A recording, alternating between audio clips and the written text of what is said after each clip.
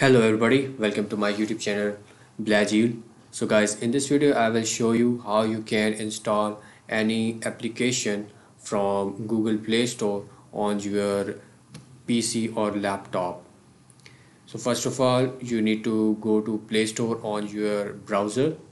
After that, you need to select any app and click on it. For example, I have selected Instagram now to download its APK or install it on PC, you need to copy the link of that uh, application uh, by clicking Control C. Then you need to open a, a tab and search here Evozi E V O Z I.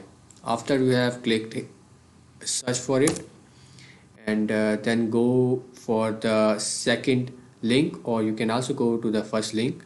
Let's go for this link evozi apps landing page. Click here. Then this page will show up. After that click on apk downloader. Now paste the link you copied by clicking Ctrl V. Now click on generate download link now it is showing file size and everything. Now click here. Click here to download. And it will start to download. After that you need to install some emulator on your PC or laptop. So I will suggest BlueStacks. Uh, you can download this from bluestacks.com stacks will eat up your resources. So if you want some light emulator you can go for game loop.